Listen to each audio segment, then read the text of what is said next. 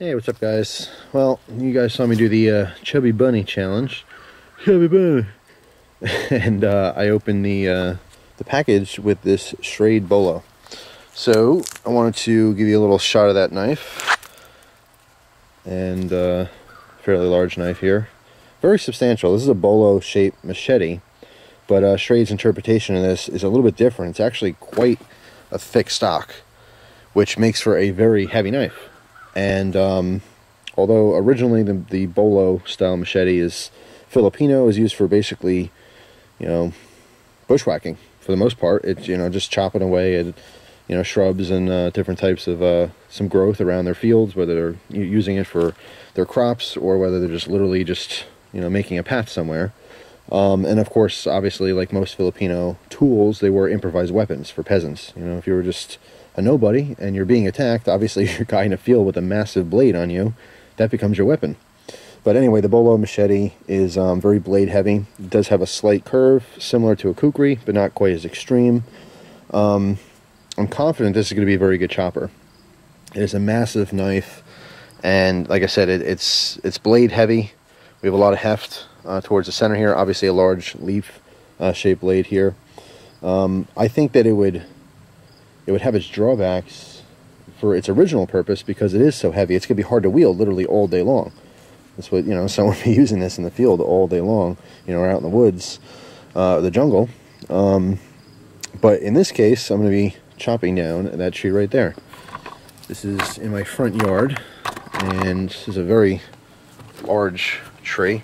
It's actually, it's, it's an offshoot of this tree, and the top of this broke off in a storm and when it broke off it has new growth on the top but it's very funky and it's actually taking away from the health of the main part of the tree so I'm going to be chopping this down. It's actually fairly large to be uh, doing something like this.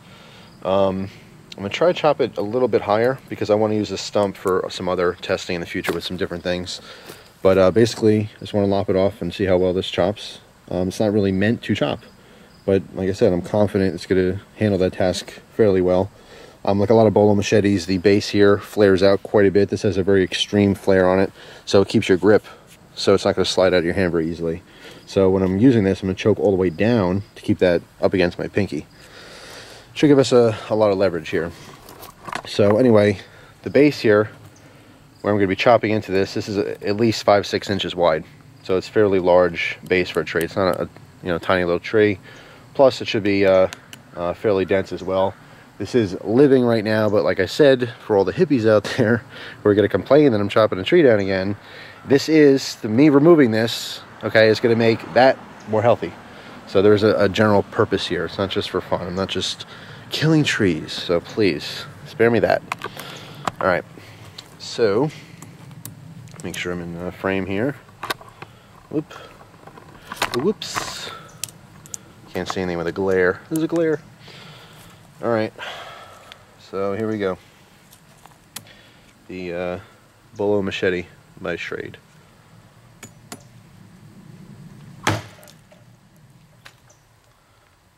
Good lord. This thing is a beast. I don't know if maybe even show that. But just this first moderate chop went fairly deep. And You can't really tell, it just looks like a little slash, but I mean, that's that's got to be. Let me see. Let me get the angle here. It's got to be at least an inch in with just one little chop. So get you back set up here properly, and we will have at it. Boom, boom, boom. Camera fiddling, camera fiddling, all this stuff, and being out in the woods and you know chopping and using your knives. It's awesome having to film it takes away from it just a little bit. But it's still fun to be able to share your experiences. So anyway, here we go.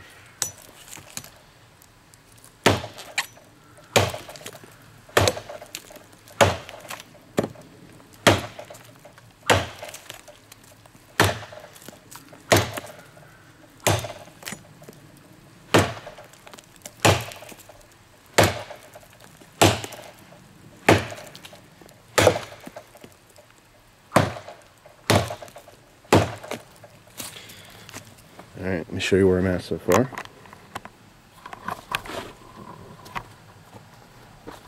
Thing is a serious beast of a chopper.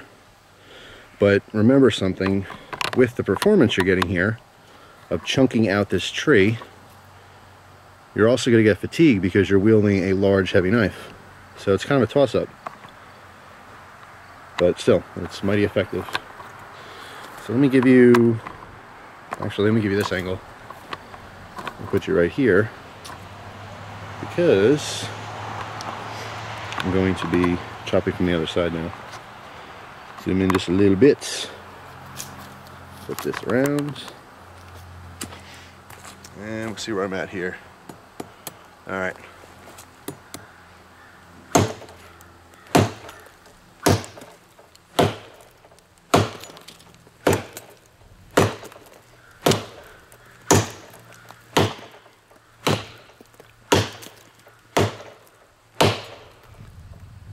Kind of keep an eye on this too because when it does go I'll make sure it's not going to fall on me or the camera. And the car so I think we should be good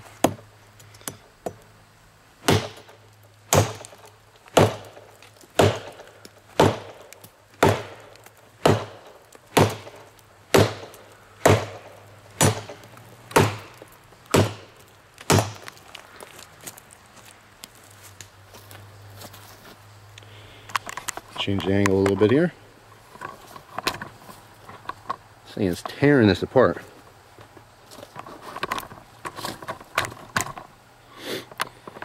All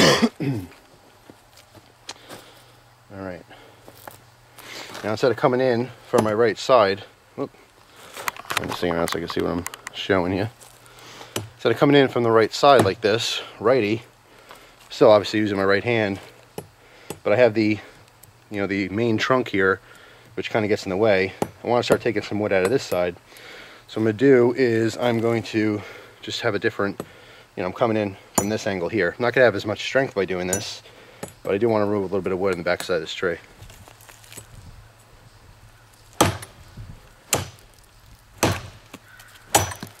Of course, I'm not going to be as accurate either.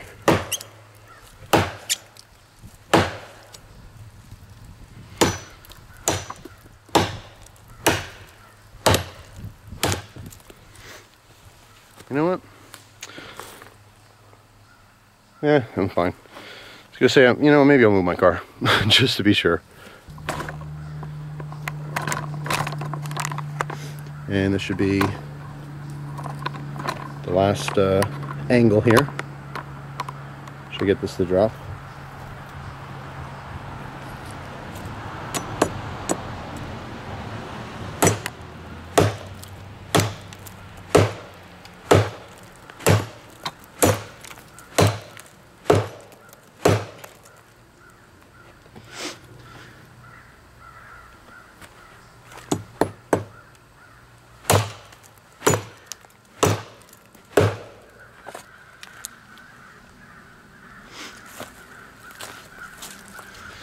Take a little off the uh, right side here.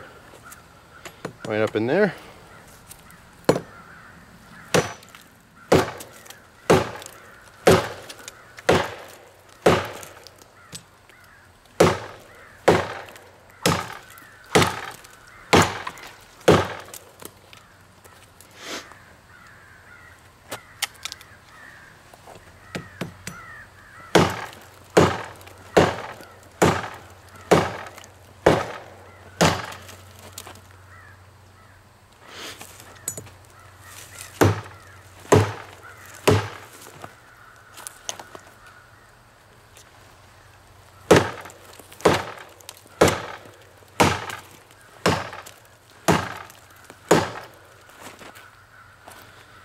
All right.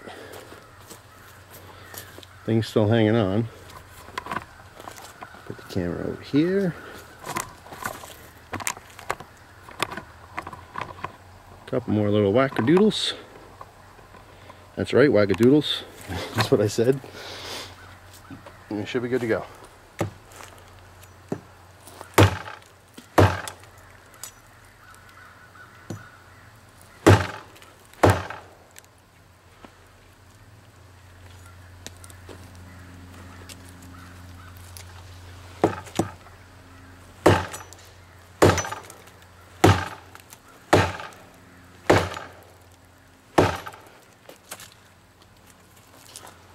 Hmm. That is a strong core on that tree.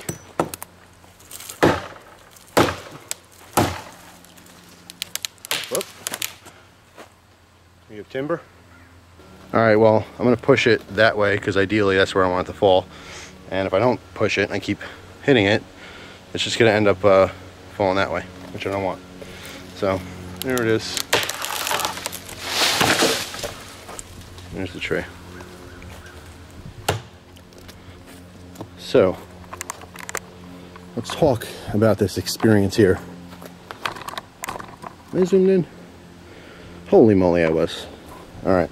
So you can see a fairly large tree. Um, like I said, at least, close. In judgment, about five inches in diameter, maybe six. Um, you know, took a little bit of swinging for this. It is a good chopper. It's not the most ideal chopper. It's still, it's blade heavy, but it's not quite like a kukri in that the majority of that weight is really up front. It's kind of in between like a Latin style machete and a kukri. Has that slight curve, it's very ergonomic. I tell you, I really, really like this grip. This grip is kind of oversized.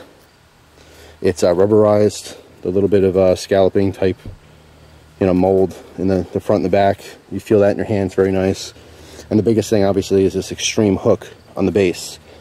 Um, this really allows your hand to settle in nicely. It does not want to slip.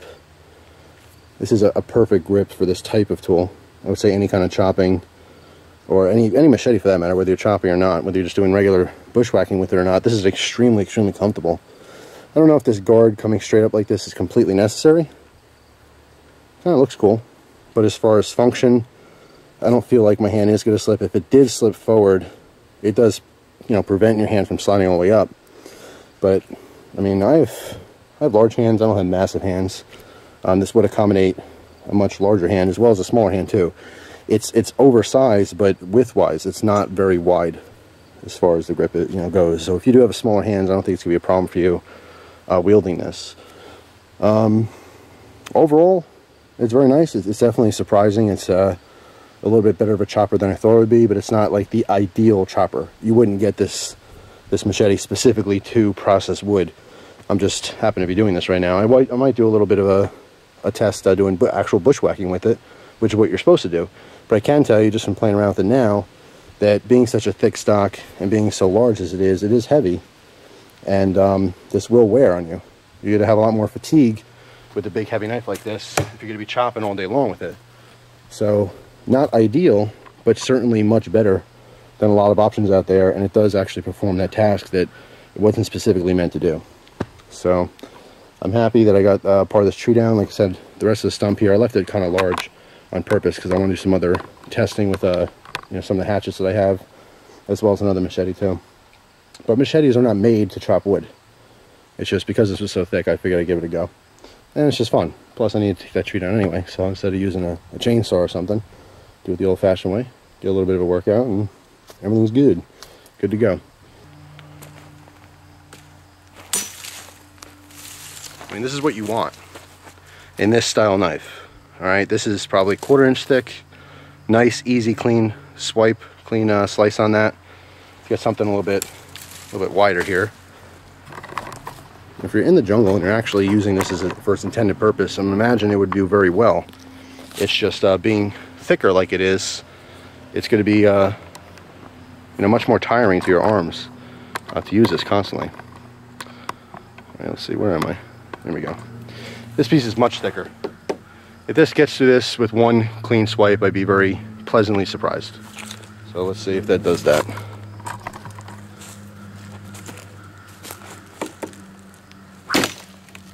And it doesn't. Went about halfway through.